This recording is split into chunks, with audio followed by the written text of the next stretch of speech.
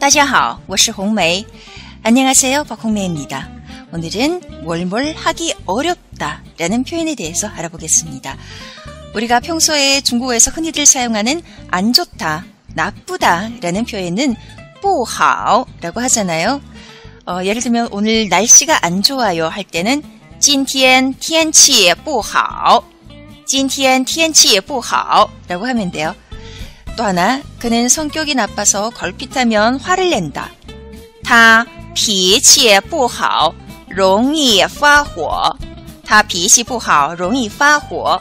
라고 하면 됩니다. 여기에서 나오는 不好는 정말 나쁘다, 안 좋다 라는 뜻으로 쓰이는데요.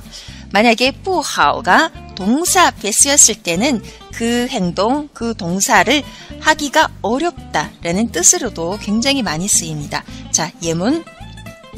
그의 요구를 거절하기 어렵다.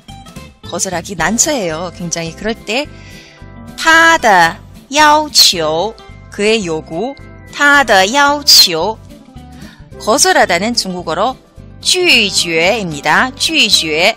네, 거절하기 어렵다 할 때는 동사 취죄의 앞에 不好를 붙이면 돼요. 자, 그러면 그의 요구를 거절하기 어려워 할 때, 타다 야오치오 不好拒绝 라고 하면 됩니다. 他的要求不好拒绝 자, 예문 하나 더 볼게요. 두 번째는 이 문제는 해결하기 어렵다. 자, 이 문제 할 때는 这个问题这个问题 해결하다는 解决예요. 解决. 근데 해결하기 어렵다 할 때는 자 동사 解决 앞에 不好를 붙이면 되겠죠. 그러면 这个问题不好解决.这个问题不好解决라고 하면 됩니다. 理解好了吗? 자, 예문 하나만 더 볼게요. 음, 우리 회사 찾기 어렵다. 굉장히 구석진 곳에 있어서 찾기 어려울 때.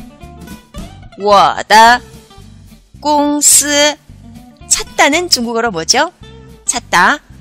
找找입니다. 그러면 찾기 어렵다 할 때는 또 找 앞에 不好 붙이면 되겠죠? 그러면 我的公司不好找我的公司不好找라고 하시면 됩니다. 理解好了吗? 자, 이제 예문 조금 더 추가해서 읽기 연습 들어갈게요. 읽기 연습할 때 큰 소리로 따라 읽어주시는 거 잊지 마세요. 그의 요구를 거절하기 난처하다.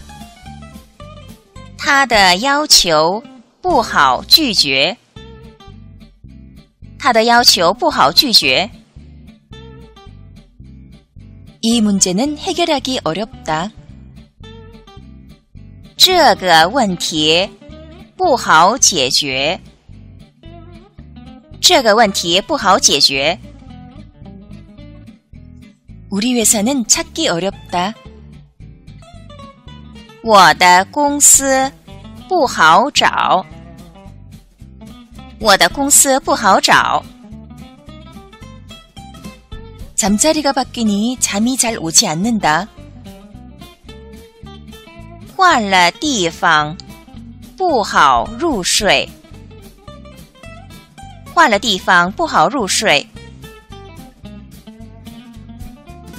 자, 오늘 내용은 여기까지입니다. 다음에도 좋은 내용으로 찾아뵙도록 할게요. 지금까지 박홍미였습니다. 다시 아싱코라. 再见。